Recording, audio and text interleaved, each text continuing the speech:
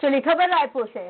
Bharat aluminium company limited, यानी कि बाल्को के मुख्य कार्यकारी अधिकारी एवं निदेशक अभिजीत पति को उनके उत्कृष्ट कार्य के लिए most promising business leader of Asia सम्मान प्रदान किया गया है। समारोह में एशिया के कई प्रतिष्ठित संगठनों के प्रतिनिधि शामिल हुए थे और अभिजीत पति भारतीय एल्यूमिनियम उद्योग में 30 साल से कार्यरत हैं, जिनके नए विचारों और नवाचार को प्रोत्साहित करना आपको बता दें सस्टेनेबिलिटी और डिजिटलाइजेशन जैसे क्षेत्रों में बेहद विशेष रुचि उनकी रही है। अभिजीत पति ने यह भी कहा है कि देश में औद्योगिक वातावरण तेज़ी के साथ बदल रहा है। उन्होंने कहा है कि देश को विश्व के एल्यूमिनियम के नक्शे में एक अहम स्थान दिलाने में बालकों का उत्कृष्ट योगदान रहा है।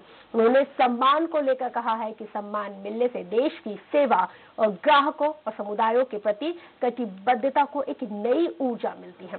कलकत्ता विश्वविद्यालय के पूर्व छात्र अभिजीत ने अपने करियर की शुरुआत साल उन्नीस सौ नवासी में इंजीनियर के रूप में की थी। देखिए ये खास report.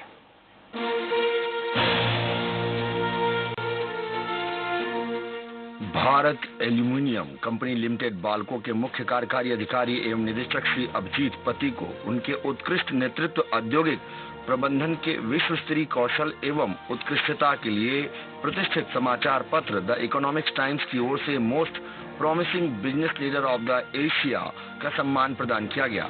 यह सम्मान ऐसे व्यक्तियों को दिया जाता है जो अपने नेतृत्व कौशल से देश और दुनिया के व्यावसायिक वातावरण को नया आयाम देने में योगदान करते हैं। श्रीपति को यह सम्मान इकोनॉमिक्स टाइम की ओर से आयोजित वर्चुअल समारोह में दिया गया। समारोह में एशिया के अनेक प्रतिष्ठित संगठनों के प्रतिनिधियों ने भागीदारी की।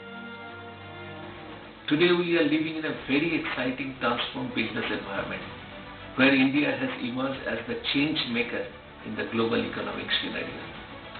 In my stint of last 30 years as a strategy maker in the aluminium industry, I have seen a huge transformation in this sector. From greenfield project to investing in innovation and emerging technologies, India is already becoming the new focal point of business activities. See Balco's journey, it is one of the country's top producer of aluminium. It alone produces nearly 15% of the country's aluminium establishing the country on a global metal forum, supplying aluminium to evolve markets for sophisticated application. Balco has contributed in positioning aluminium as the metal for the future.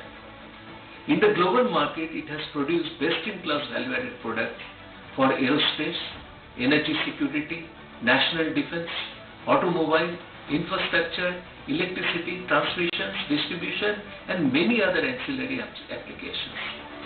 Balco supports critical emerging sectors like electric vehicles, modern construction, and other ancillary segments. We make the vision of Make in India and Atmanirbhar Bharat a ground reality.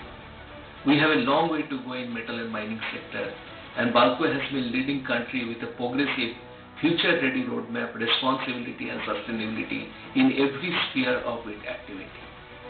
My thanks once again to the Economic Times team for this wonderful recognition. It reaffirms our commitment to serve our country, customer and communities with even greater vigor.